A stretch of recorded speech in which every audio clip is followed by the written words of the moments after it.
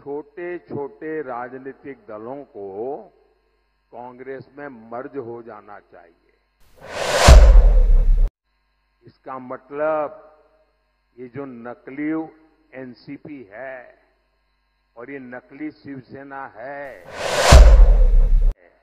उन्होंने कांग्रेस में मर्जर करने का मन बना लिया है।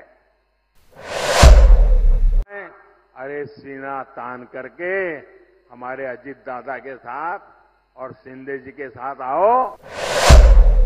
महाराष्ट्र के एक दिग्गज नेता 40-50 साल से वो ऐसे ही कुकरी मारते रहते हैं।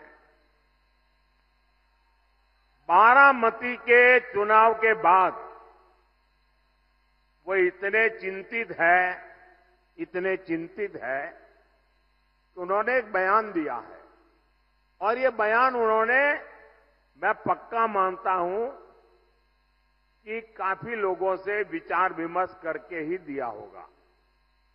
वो इतने हताश और निराश हो गए हैं कि उनको लगता है कि अगर 4 जून के बाद सार्वजनिक जीवन में, राजनीतिक जीवन में अगर टिक रहना है तो छोटे छोटे राजनीतिक दलों को कांग्रेस में मर्ज हो जाना चाहिए। इसका मतलब ये जो नकली एनसीपी है और ये नकली शिवसेना है, उन्होंने कांग्रेस में मर्जर करने का मन बना लिया है।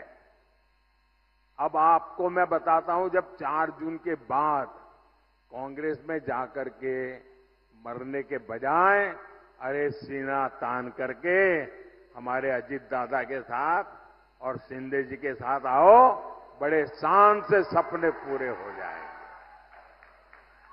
भाइयों, बहनों